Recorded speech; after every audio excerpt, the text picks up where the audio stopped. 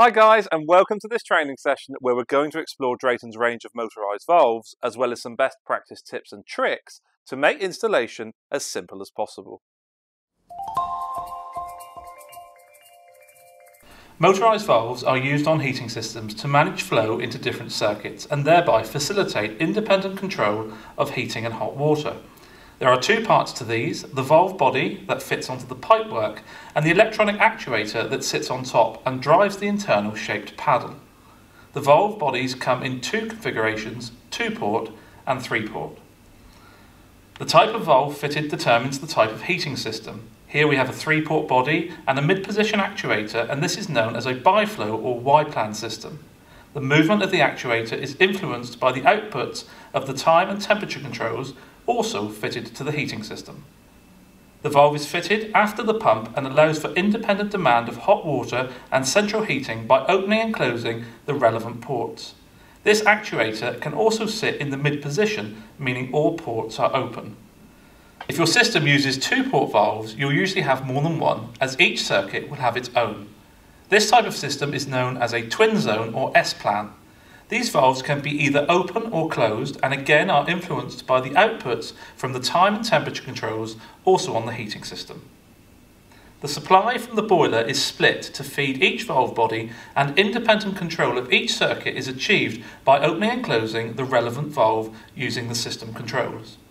Twin zone or S-plan systems are more versatile as you can add extra zones by adding more two-port valves with their associated time and temperature controls to split heating circuits or to add single zone wet underfloor heating.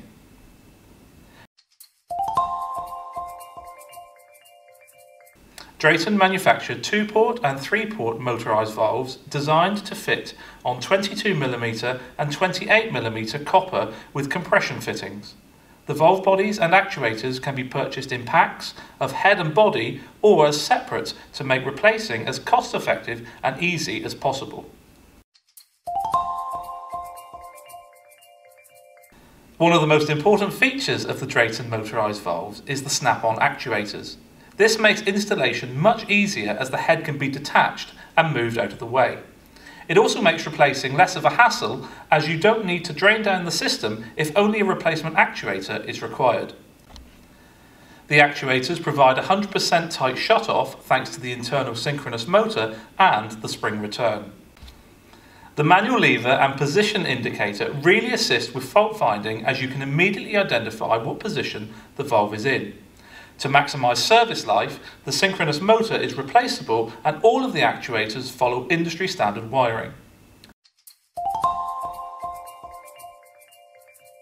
Here we have a pack comprising of a ZA5 actuator with 22mm two-port body.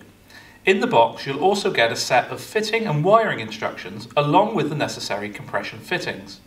The 28mm pack version of Drayton's 2-port is supplied with a ZA6 actuator, as well as being larger, the 28mm body has female threads and male locking nuts. The ZA5 is a 5-wire actuator and the ZA6 has an extra white wire making it a 6-wire actuator. These are interchangeable provided the extra wire is not being used as is rarely the case. On the underside of the body, the ports are stamped A and B with the flow direction to be in on A and out on B the port designation is diametrically opposed to the position indicator on the actuator, so always use the valve body markings when piping up. For low voltage applications, there is the ZA5A and the ZA6A, which are supplied as actuator only but are fitted with 24 volt synchronous motors. The end switch contacts in all versions are volt free. Next we have the MA1, which is also available as a pack with 22mm and 28mm three-port bodies. The compression nut arrangement with the female threads is the same on the three ports as it is the two ports, and all compression fittings are supplied in the box. Underneath the body, the ports are designated A and B, with port AB being the feed from the pump. The supply needs to be connected to the AB port whilst heating and hot water are piped to ports A and B respectively. Remember these actuators can hold the mid position to open all ports when both circuits are demanding. This actuator is also a 5 wire but has a white wire instead of the brown found on a zone valve. The 3 port body can also be used as a diverter valve when fitted with the ZA3 actuator. This means your system designation would change to a hot water or central heating priority system. All actuators are interchangeable, so a ZA5 or ZA6 actuator could be used with a 3-port body to create a diverter with the switch wires not being used. Before fitting to the pipework, remove the actuator by pressing in the square button and set aside to prevent damage. The copper pipe needs to be cut squarely and free from burrs before locking nuts and olives are assembled. For 22mm bodies, the pipe insertion into the valve should be between 10mm and 15mm. For 28mm bodies, the insertion should be 22mm to 25mm. All motorised valves should be fitted with a minimum of 1 metre's length of pipework from the pump and also located in an area that does not exceed 52 degrees Celsius. To install the actuator on the body and for commissioning the system, the actuator needs to be locked into the vent and fill position by moving the lever over and pressing into the casing. When the system is ready to be tested, the lever can be unlocked by manually moving the lever or driving the actuator its full travel. Here I'm going to power up each of the Drayton actuators to show correct operation, starting with the ZA3. This is simple, neutral and earth connected to their respective terminals, and when the brown wire is energized, the actuator moves from position A to position B. When de-energized, it returns to position A. The ZA5 is the same, however it also has two extra switch wires. In the A position, there is open circuit between orange and grey. In the B position, the microswitch closes and there is continuity between orange and grey. The ZA6 follows the same logic, with the brown wire driving the motor, however there's an additional white wire. This is a normally closed contact with respect to the orange wire. In the A position, there is continuity between orange and white, but open circuit between orange and grey. When the actuator completes its travel to the B position, continuity is lost between orange and white, but is gained between orange and grey. From this you can see that the switch contacts are volt free and not influenced by the mains voltage on the brown wire used to drive the motor. The MA1 is slightly different as it's not volt free as there is no access to the switch common. Neutral and earth are connected as normal and if you energise only the white wire the valve will move to the mid position. The orange wire will remain dead.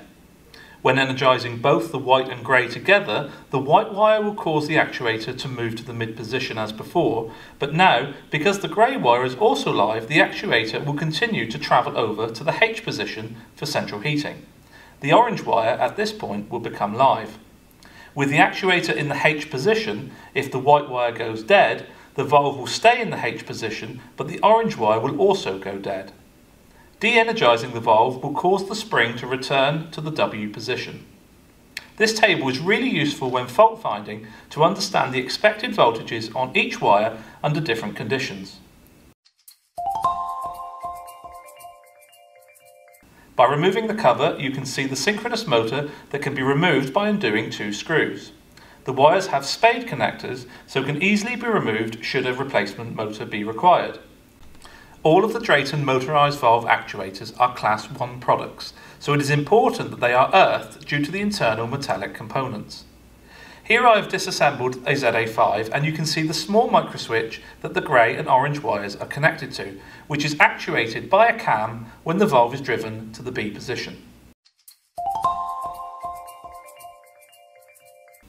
To finish, here is some useful information for when you're specifying Two really important details here are the maximum water temperature of 93 degrees Celsius and the maximum current rating of the microswitch of 3 amps resistive and 1 amp inductive. Thanks for watching this training video and if you need any more information or resources head over to our website draytoncontrols.co.uk.